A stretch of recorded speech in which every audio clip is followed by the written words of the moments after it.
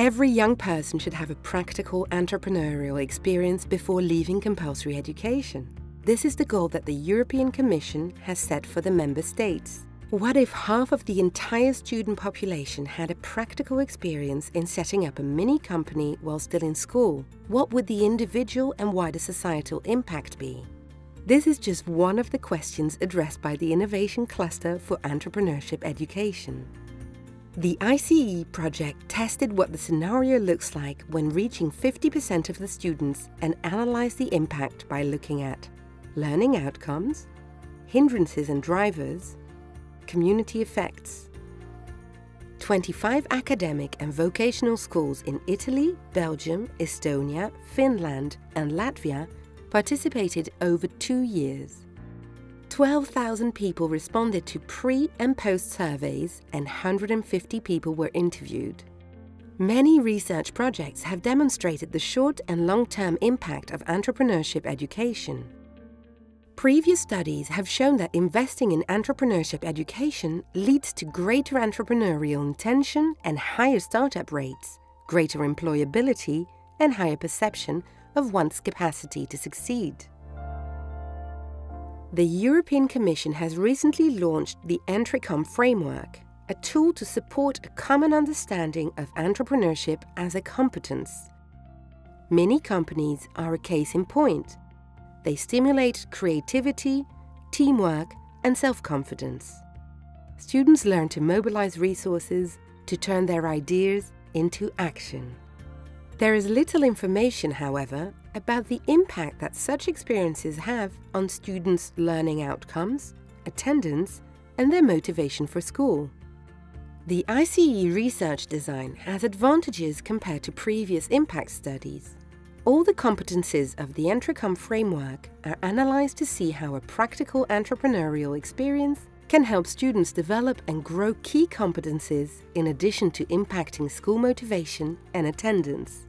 The ICE research involves all possible target groups and the sample is large enough to obtain robust and comparable data and to draw relevant conclusions. The presence of control groups allows the comparison of participants with non-participants and gives the possibility to isolate and well document the effect of entrepreneurship education. Parents sent a positive message about entrepreneurship education. They favor methods based on real experiences like the mini companies, and they were very satisfied with the practical and non theoretical way of learning that the company program offered to the students. Parents appreciated the possibility for their children to learn transversal skills such as creativity and teamwork, and to change their attitudes towards school by becoming more responsible and confident about their own capabilities. However, parents felt uninformed about the big picture, including the learning process and the individual assessment. We need more information about the company program and its pedagogical approach, they said. Only by being properly informed can parents really act as a positive driver for entrepreneurship education in school.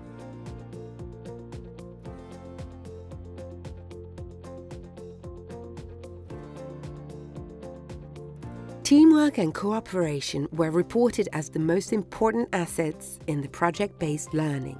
Teachers gained a closer, more respectful relationship with the students, and they highlighted the pedagogical advantages of this way of learning.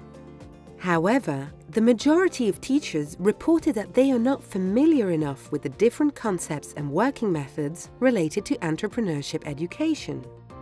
Teaching entrepreneurship requires that they adopt a more competence-based approach. Newcomers among teachers especially felt insecure. Teachers need high-quality training before teaching entrepreneurship. And when they teach entrepreneurship, they need to reflect on their practices together with their colleagues and feel supported by the school leadership.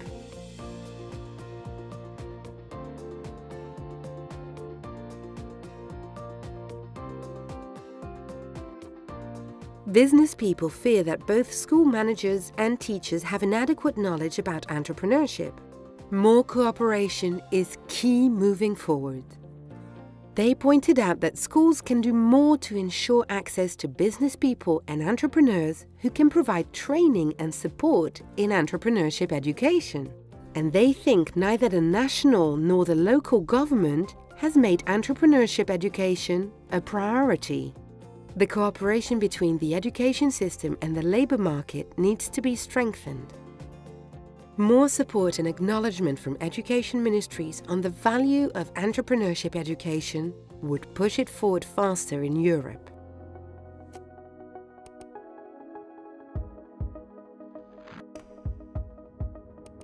The ICE findings confirm the positive impact of entrepreneurship education on students' skills and competencies and show that students involved have higher school motivation, improve their overall performance, and have a better relationship with their teachers. Higher exposure is correlated with better results. Students spending 100 hours or more in the company program during a year are far more influenced by the program than those spending less time. Attraction to entrepreneurial activities and having the knowledge to do so is a measurement of entrepreneurial intention, a predictor of someone becoming an entrepreneur in the future. A significant proportion of those students with 100 hours or more reported having the necessary knowledge and skills to start and run a new business and they preferred self-employment to employment more often. The same significant difference between participants and non-participants was found in several competencies such as commitment, ability to coordinate activities, decision-making, presentation, taking initiative, leadership, managing timelines and projects. In many countries, there are concerns about dropouts from the school system there is a close link between dropping out and motivation and effort. The ICE research looked at the connection between students participating in the company program and their level of motivation and effort at school. Motivation is an important driving force for learning, and it has a strong impact on students' behavior in school. Those with high activity in entrepreneurship education had significant higher scores on motivation. They also reported that they put more effort into their schoolwork. Students with 100 hours or more of entrepreneurial learning had significantly higher scores when assessing their interest in school activities. They also had higher scores on the amount of effort put into their schoolwork.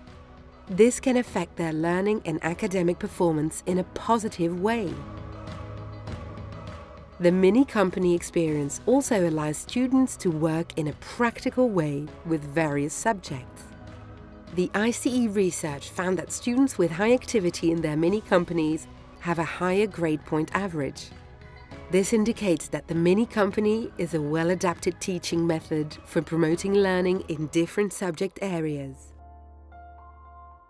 sickness presence refers to going to school despite illness, Students with high entrepreneurial activity reported that they had more sickness presence episodes. When asked about motives for attending school while ill, several refer to their interest and commitment towards their mini company work. There are three key beneficial aspects of mini companies. One, they involve practical learning situations. Two, students work in teams and distribute responsibilities. Three, there is a close cooperation with the teachers. The ICE research demonstrates that when students are allowed enough time to work in their mini company, this participation can be very useful. Some students increase knowledge and develop skills that are useful for entrepreneurship, and some students become more motivated for school, attend school more often, and learn subjects in a new way.